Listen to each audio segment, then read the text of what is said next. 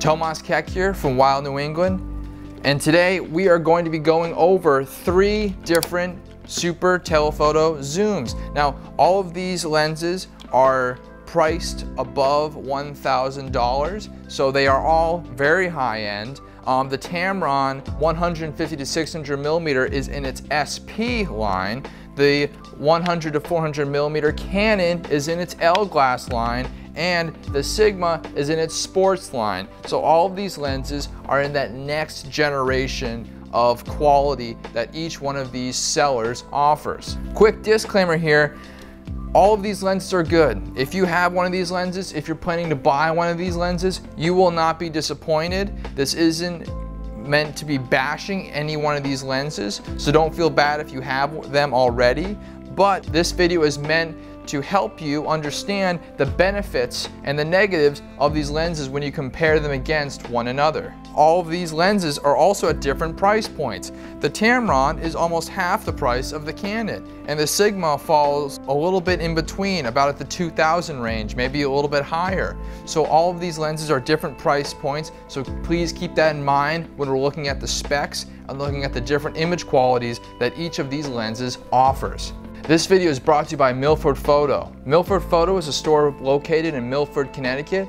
It offers online shopping and an extremely large stock that you will not find anywhere else in Connecticut. They are licensed by Canon, Tamron, Sigma, Nikon, Sony, you name it, on selling different bodies and different lenses. They also offer personalized packages where if you want to get a specific camera body with a specific camera lens, they can set up bundles and they can work with you. So if you are interested in buying one of these lenses, buying a new camera, check out Milford Photo today. So let's go right into it. I'm gonna look at each one of these lenses and we will go across the board on different comparisons and different um, strengths and weaknesses of each category. So let's go over build quality real quick. So I'm looking at the Tamron here. I, when I got first got this lens, um, this was, it was really nice seeing that this lens was very high quality. It, it's made out of carbon fiber, the mount is metal, it's even weather sealed. That's a huge benefit if you're a wildlife or sports photographer who needs that reach, but you're going to be in places and areas that need that weather sealing, that need that extra protection against the rain and snow. Um, looking around here, you know, the Tamron ha has a very nice solid build, but it's not too heavy. This lens weighs in at about four and a half pounds. Um, so it's a very large lens. It offers a lot of reach, up to 600 millimeters is its highest focal length. And quite frankly, it's really light. I'm very, very nicely surprised. You can see here, you know, you have the lens mount, which is fully removable, by the way. And what's really cool about this lens mount is that it already has an Arca Swiss compatible dock on it. So if you have Arca Swiss type mounts that you would like to use, you don't have to worry about buying an extra adapter to go along with the Tamron mount. That is really, really cool. Here it is without its mount. I think it's probably about the same weight because the mount on this lens really does not weigh that much, which is a really, really cool um, additive. So that is the Tamron lens. One other thing to note, this lens, if, if you feel it, you can tell that it does have a fluorine coating that is meant to adhere to weather sealing um, standards and will also stop water droplets and other and dust and other stuff that may get on your lens sticking and affecting the operations of day-to-day -day use. So moving on to the Canon. The Canon is a much smaller lens as you can see. It is 400 millimeters. You may be wondering why I would be comparing a 400 millimeter with two 600 millimeters. You will see why in a bit. Stay tuned. So looking at this lens, this lens, as expected from Canon, is very, very solidly built. It is in the L glass line, as you can see by its red ring. So this lens, it has a, it's gray. You'll notice it's a different color than the other two lenses. It's really solid. Um, this lens prides itself off of its weather sealing. It's weather sealed just like the Tamron with a nice metal bracketed mount. Um, and it's, it's, it's a really, really good design. Um, I really like the Canon design because it's really small, it's really compact. Interestingly enough, it's the same weight as the Tamron. If you pick it up, you'll actually think it, it weighs heavier simply because it's smaller, so it's a little bit more massive than the Tamron is. So again, Canon's always really good with their build quality, especially with their L glass. So yeah, I'd give that a really, really good score. So you do not have to worry about Canon with their lens quality. So looking at the Sigma here, the Sigma is a whole nother level. So this lens, um, even the lens hood itself is metal. You can probably hear it from here. Let's see. This is all metal. It has a rubberized front to the mount and this is really useful because a lot of people use the hood for two purposes. One, to block stray light uh, rays from affecting the image quality and two, to protect the lens from any damage that may happen. And I will say this Sigma is built like an absolute tank. It is much heavier than the other lenses, which we will go into later, which um, will affect how you shoot.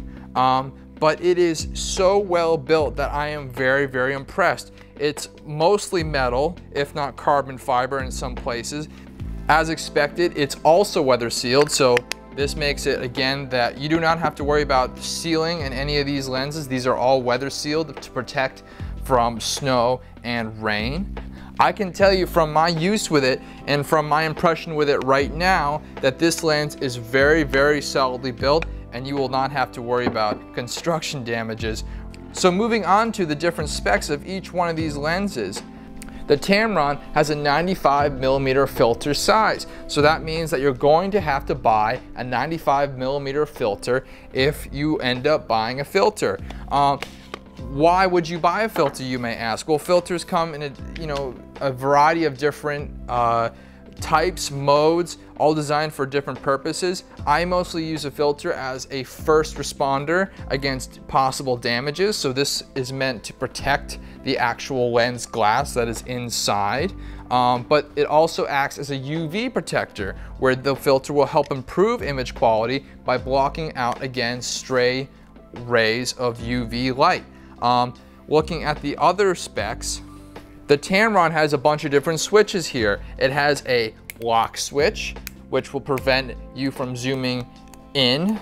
Okay, so it locks at 150 millimeters, which is nice and handy if you're on the move and you don't want the lens to slowly fall and zoom out on its own, which is kind of cool because this lens actually isn't doing it. And I've been using this lens for months. There's a different type of lock called the ring lock. So if I am at, let's say, 350 millimeters, or maybe let's make it even more interesting. Let's say I'm at 325 millimeters. I can flip that lock up and the lens will not zoom in or out. This is really cool. And this is a feature that Canon nor Sigma has, so that is something to consider.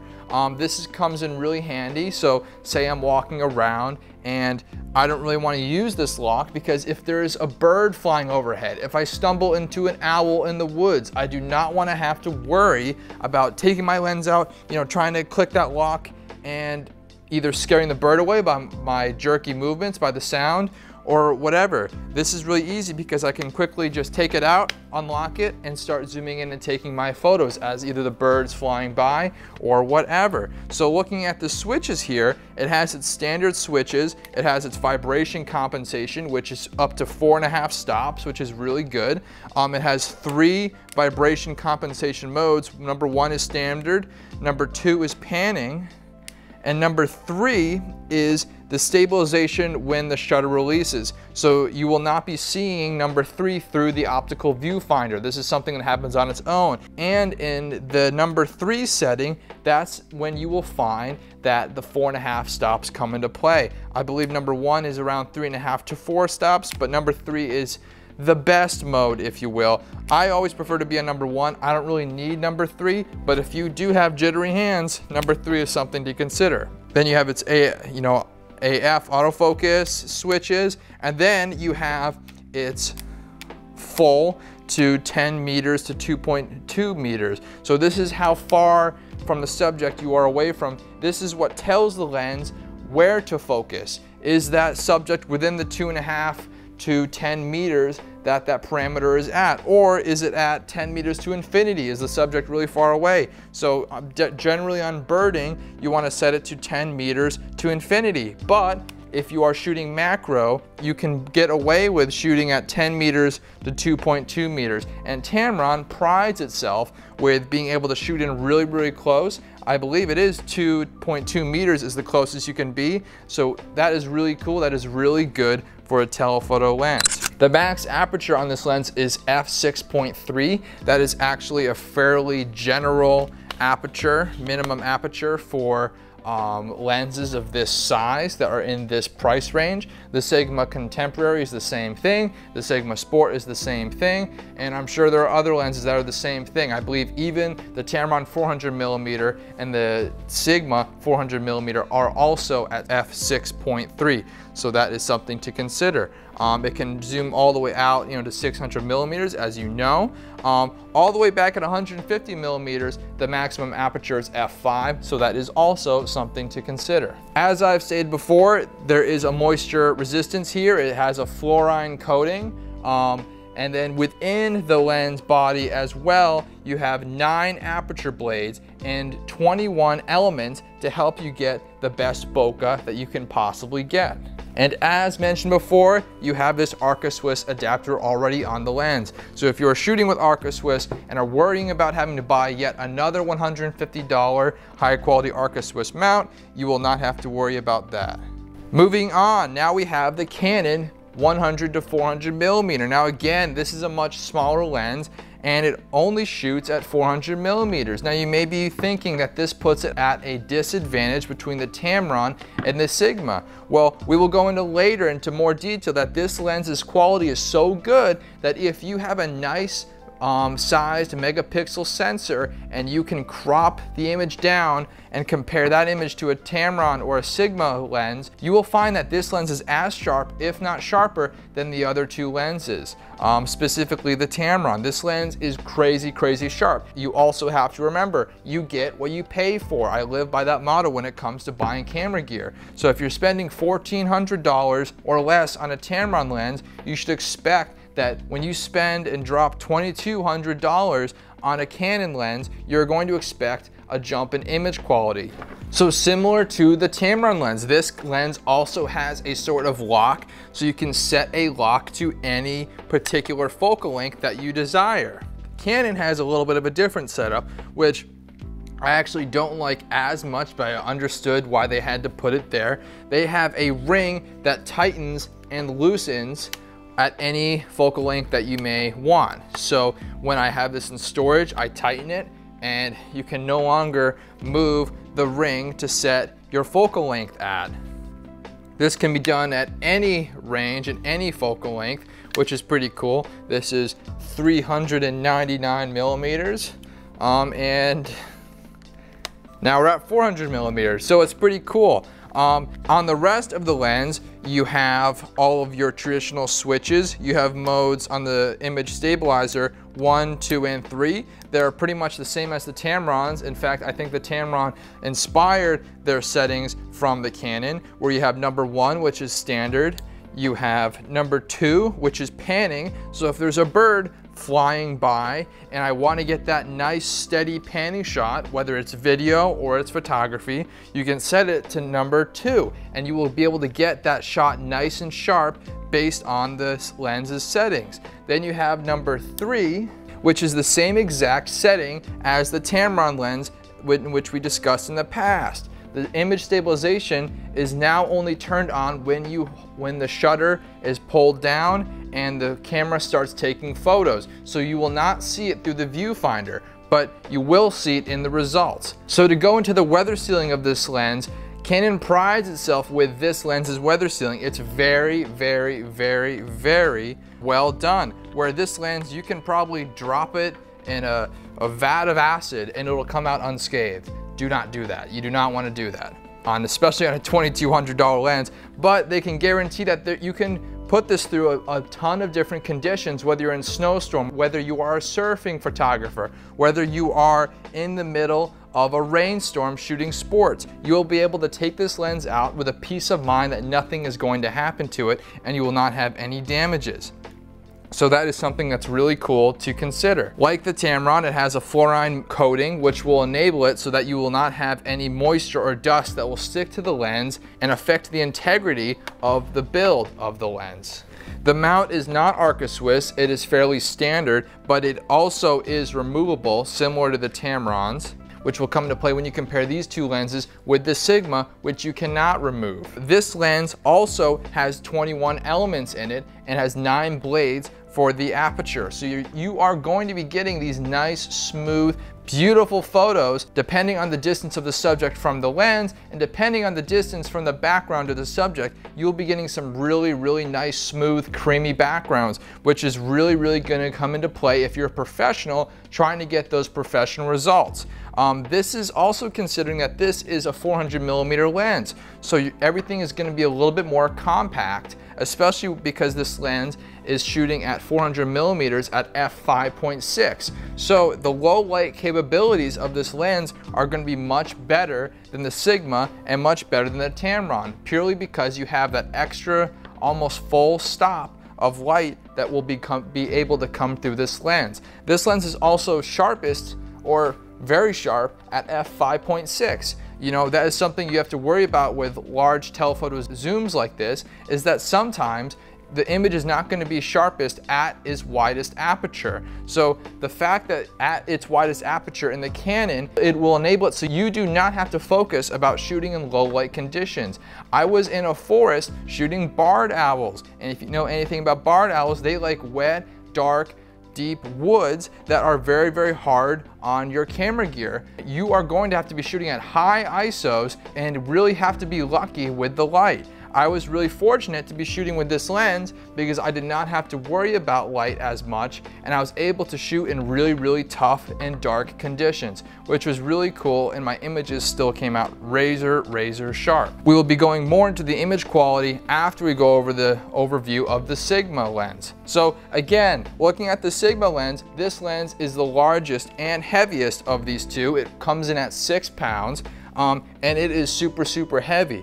If you are a sports photographer, if you are someone who shoots with a monopod or a tripod at all times and do not have to worry about carrying this lens around, stop this video and go ahead and buy yourself the Sigma. The Sigma is an insanely, insanely sharp lens that brought to sporting events, especially outdoor sporting events, you're, you are going to be getting some crazy, crazy good results. The thing is, because this lens is so heavy, I found it that when I compared um, all three of these lenses in the field that I wasn't as apt to be excited about taking this lens out purely because it's so heavy. When I am out in the field, I am running and gunning. I am running around the woods, being very patient, you know, spending hours out in the field trying to get the shot that I desire most. When shooting like that, I need to have nice light equipment that enables me to be able to walk around without having an extra pain in my shoulder. And interestingly enough, even though the Sigma is only about two more pounds than these other two lenses, it really, really put a weight on my shoulder. And I felt that at some points, I just felt like packing up and finishing up shooting, which is a terrible feeling to be shooting like that when you want to be getting the photos that you want, but you don't want to keep shooting in pain and having this extra pain on your shoulder. This will weigh you down eventually, unfortunately. Um, but again, if you are someone who shoots with a monopod or a tripod and you do not have to worry about the extra weight, you will not be disappointed with this lens. So going into the different specs of this lens, this lens is a 105 millimeter filter size. So the filter is going to be a little bit more expensive than the other lenses. However, I will say this, if you are buying a $2,000, a $2,200, a $1,400 lens, you want to be buying a nice filter so that you get the best image quality and you also protect the lens. Don't be afraid to put away that extra money to protect your lens. If you're already putting in over a thousand dollars in anything, what's a hundred more when it comes to protecting your lens's integrity and its safety? So looking at this lens, again, 105 millimeter size, and you have all of your um, locks just like these two have. Um, so it has one lock switch right here that can lock at any of the marked parts of the lens. So for example, I can lock at 150, 180, 200, 250, 300, 400, 500, and 600 millimeters. Um, you cannot lock in any of the in-between setting, which is something to consider when comparing these lenses. Fortunately, the range is set where you don't really need to go in between these settings. These are all really, really good, well-placed focal lengths for you to be shooting at. Um, it has a quick release where if you have it set at 300 millimeters and the winning goal is about to be scored and you need that extra reach at maybe, I don't know, 500 millimeters, you can go there. You don't have to quickly, frantically find the switch, uh, you know, switch it off and then zoom in. Interestingly enough, this lens is designed where you don't really actually use the um, focal ring here. You, you are more apt to use the push and pull technique. Now this is not something I'm acclimated to, but if you are acclimated to that style, you'll be very happy to find that the Sigma has designed the lens so that you can grip it, so that you have that extra handle and this extra little you know, nub right here, if you will, that will enable it so you can push and pull all you want. Um, so that is really, really cool. You also have all these settings here, the basic OS settings, um, you got number, number one and number two. Now number one, I believe, is just all purpose and number two is for panning. They do not have a number three. You also have your focal range focusing types and you have your autofocus and manual focus settings here. Um, you also have custom settings that you can, you can customize your lens to and you can switch number one, number two, or completely off. It is totally up to you. It's pretty, pretty cool. Um, it should be noted that the mount cannot be taken off. So, you know, it's going to add to the extra weight and because you know, everything is so nicely built, unfortunately there's a ton of weight on this lens. So that, that is just something you are going to have to consider. I'm going to stress again the weather sealing of this lens. Sigma prides itself, similar to Canon, where this lens is weather sealed to a tooth, where you can dump this lens in a vat of acid or water or whatever weird liquid you have available in your house and it should be totally fine. Again, I do not recommend doing this, but that, that is something to consider that if you like to shoot in very, very um, dicey conditions, you will not have to worry about this lens at all. Similar to the Tamron, its max aperture is at f6.3. Now, unlike the Tamron, this lens is razor sharp at 6.3, 9 aperture blades, but it also has 24 elements in the lens, which is probably why its quality is so good and probably why this lens is so much heavier. There is more glass that is put into this lens in order to get that nice sharp um, output that you desire.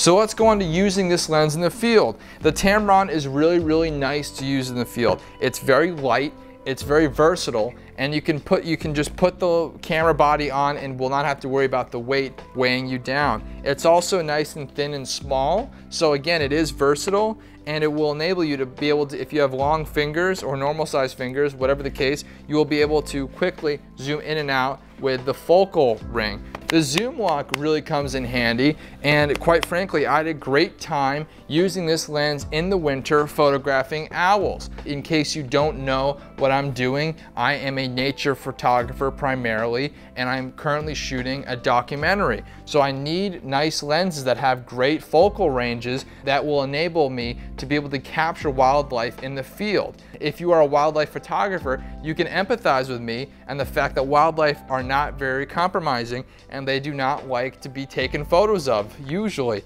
So having the lens with this range really, really helps me get the shots that I want. Um, this lens is not sh that sharp at f6.3. So when I, when I, use a very high density uh, megapixel sensor like the Canon 90D, which is also a crop sensor, I needed to up it to f8 in order to get sharp results where I can then take those images, sharpen them in post-processing and get some really, really nice results.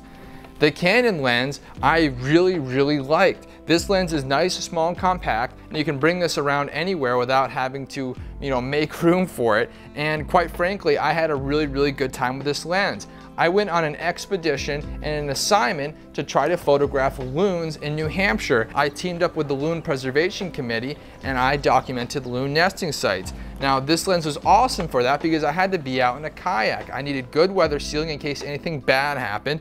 and I also needed something that wasn't too big and cumbersome so it did not affect, um, you know, I didn't want to fall off my kayak, quite frankly. So having a lens that was able to quickly put in my kayak and was at that size where it was nice and easy to use was really, really convenient for me. This lens is also insanely, insanely sharp. I was able to get some really good results from this, even from that very brief three or four days I was out in New Hampshire. So this was a really, really good lens for that purpose.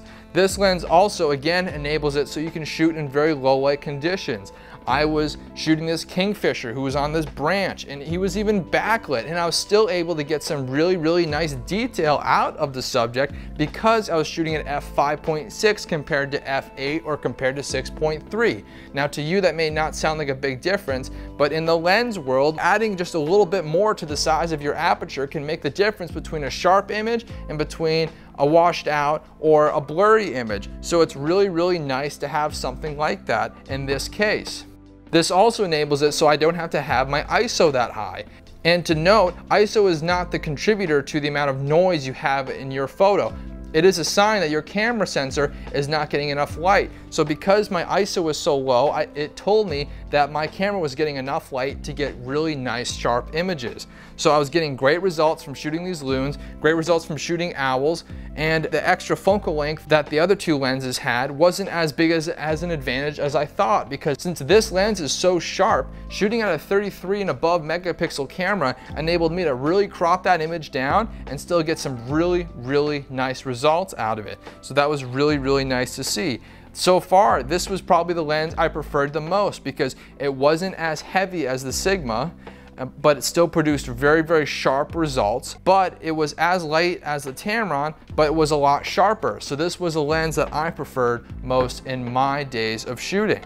Moving on to the Sigma, the image quality, again, was insanely good. The thing was, I just did not get to use it as much as I wanted. Sometimes because the lens was so heavy, it was just really hard to get the photo of that bird flying. If you are a nature photographer, you understand that when the bird's flying by, there's a moment where you put the lens up and your camera up and you have to try to find it, right? Because this lens was so heavy, it was kind of hard to find that bird. So anyway, the results, I'm gonna once again say that any of these lenses are great. You are going to be happy with the Tamron, you're going to be happy with the Canon, and you're going to be happy with the Sigma Sport. You can't go wrong with any of these lenses. It all just matters of how much you end up wanting to spend. All these lenses are great for their own uses, and all these lenses offer a lot where you are going to be getting great images no matter what lens you use. As a result, if I had to pick one of these lenses for me personally, for my shooting style, I would go with this with the Canon 100 to 400 millimeter. I just had such a great time shooting with this lens because it was small, it was compact, and most importantly, it was razor sharp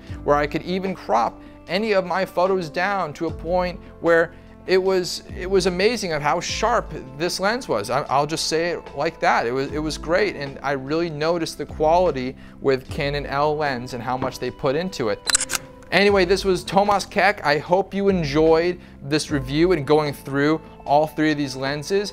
Like and subscribe on this video. It will tell me if I should dish out more videos like this. And I hope this video helped you with your camera decisions. This is Tomas Koeck from Wild New England, signing off.